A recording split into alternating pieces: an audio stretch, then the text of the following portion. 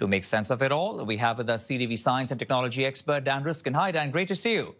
Great to see you. I feel like, you know, judging on what we're talking about, I should be in the studio with you in case a solar flare takes out our communication link, but we'll just hope things last through this next few minutes.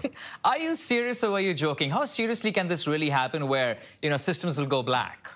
I am joking for this for the next five minutes for sure. So okay. what sort of got the alarm going is that there was this this huge eruption on the surface of the sun.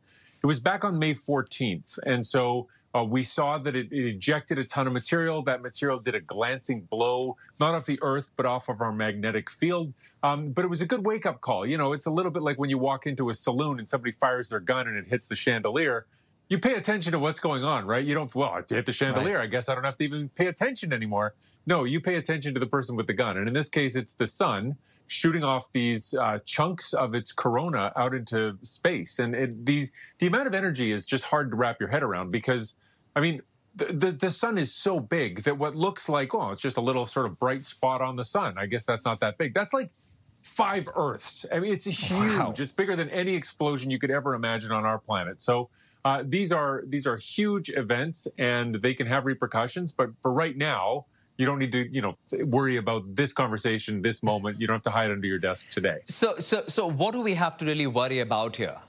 Well, what we have to do is just plan for these things. I mean, it's it's really it's not up to the average citizen like you and me to figure this out. This is for the people that run the infrastructure. If there were a huge event where a ton of this material hit the earth straight on, um, it can do things like mess up power lines. And there's this famous uh, event from 1859 called the Carrington event, where uh, basically there was a big storm in space and people that were working telegraph wires got burned because the, it heated up all the wires that were sending electricity. And so, um, you know, these things, we, we rely so much on our electrical infrastructure now. And a lot of it is built with this stuff in mind, but uh, it hasn't really fully been tested.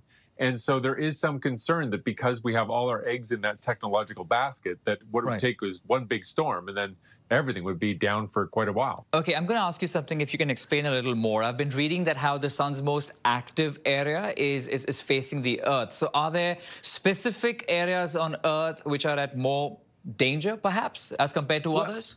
Yeah, I mean, so the, the sun rotates just like the Earth does. So we turn once a day. I think it's every 28 days that the sun rotates. And so you can see these spots on the sun, these, uh, you know, these flares or sunspots.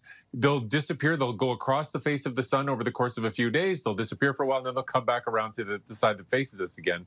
And so what we're seeing is these places where these storms are are facing toward the sun right now. And, and you know, they'll, they'll move away, but then they'll come back and face us once more. And so you can make some calculations about which way this thing, the gun is aiming, so to speak. And when it's pointing at the earth, you pay special attention.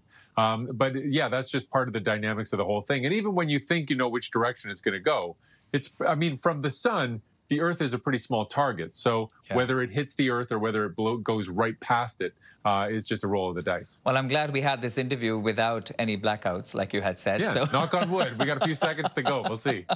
Dan, appreciate you joining us on the program. Thank you so much. That's CTV Science Actually, and Technology expert, Dan. Riskin. Bye-bye.